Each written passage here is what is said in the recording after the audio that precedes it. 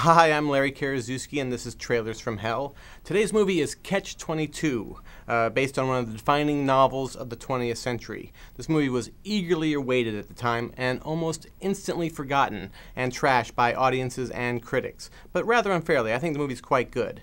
So here's Mike Nichols and Buck Henry's take on Joseph Heller's masterpiece. Well, just look at it once, will you? Sorry, Saren, your head is okay. Hey! Please, don't do that. This trailer is ballsy. It says we got the goods.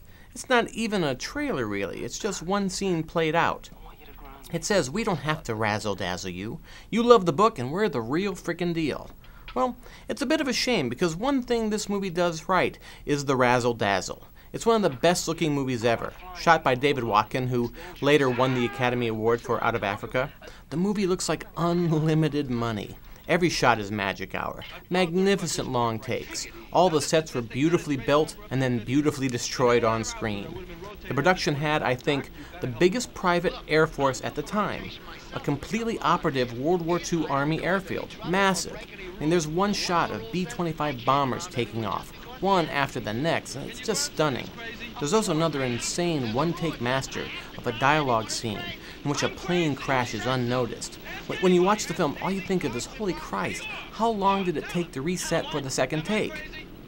Mike Nichols is a genius at using these long takes. The mise en scene is pretty spectacular. The reason the film didn't succeed at the time is probably because the book was so influential. You probably can't have Doctor Strangelove without Catch 22, and you certainly can't have MASH. MASH actually opened just before Catch 22 and was a huge hit. And MASH was the scruffy, low budget movie that felt of the moment. So when big budgeted Catch 22 showed up, its thunder had been stolen. And like MASH, there was also a TV series made after the film, but it flopped too. Uh, Richard Dreyfuss played Yossarian. Catch 22's reputation has grown over the years. Uh, Steven Soderbergh is a big fan. The cast is amazing. Bob Newhart, Richard Benjamin, Paula Prentiss, Orson Welles, and Art Garfunkel in his film debut. Nichols loved Garfunkel, used him musically in The Graduate, and used him really well in The Great Carnal Knowledge. But the star of the show here is Alan Arkin. It's probably his definitive performance. He is Yossarian, a sane man who can't believe he's the only one who sees the insanity around him. I mean, it's actually Arkin's film persona. I mean, think The In-Laws or Freebie and the Bean. Arkin is so right for Yossarian, he's almost wrong. The character just becomes Alan Arkin. Arkin even admits it, said at the time it was the only part he's ever worked on that didn't demand a conception, because there isn't any difference between myself and Yossarian. And I want to talk a few moments about the screenwriter of the film, Buck Henry. He's a bold writer, uh, fearlessly took on some of the big adaptations of his day Candy, The Graduate, Catch 22, and his comedies are wonderful Get Smart, What's Up, Doc?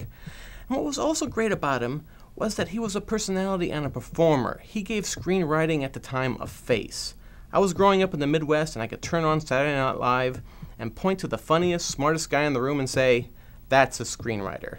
And that was very influential for me.